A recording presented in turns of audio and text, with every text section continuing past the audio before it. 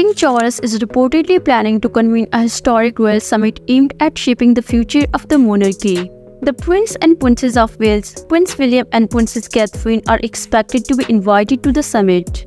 The intention behind this gathering is for King Charles to define distinct roles not only for himself and his wife Queen Camilla, but also for the younger royal couple. The hope is that Prince William and Princess Catherine's charismatic appeal, often referred to as their star quality, can be harnessed to strengthen the bonds within the Commonwealth. This move is seen as an effort to ensure the longevity of the monarchy for generations to come, with the aspiration to unite the Commonwealth countries. The summit is scheduled to take place at Balmoral, the cherished residence of late Queen.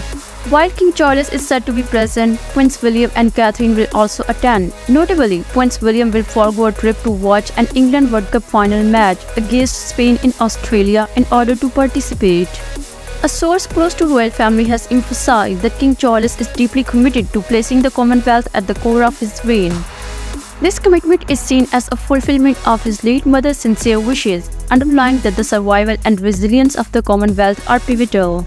King Charles places significant importance on the roles Prince William and Catherine will play in securing the future of the Commonwealth. This plan includes the couple contribution to the overall stability of the monarchy, leveraging Catherine's widely recognized star quality.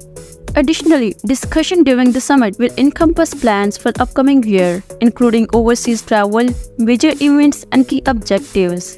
The royal family's focus on shoring up the Commonwealth comes after a tour by Prince William and Catherine in the Caribbean drew both criticism and scrutiny.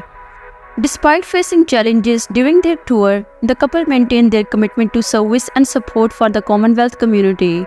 While the tour faced an anti-monarchy protest and highlighted the complexities of the Commonwealth colony's history, Prince William and Catherine remained dedicated to their role in supporting the people. They encouraged during the tour this statement that emphasized their role is about service and listening to communities, rather than dictating actions.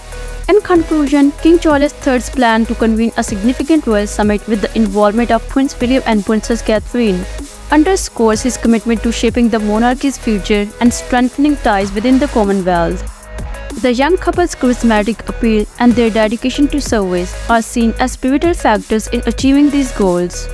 So that's all for today's video. I really hope you have enjoyed the video.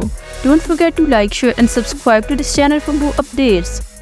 And as always, thank you so much for watching.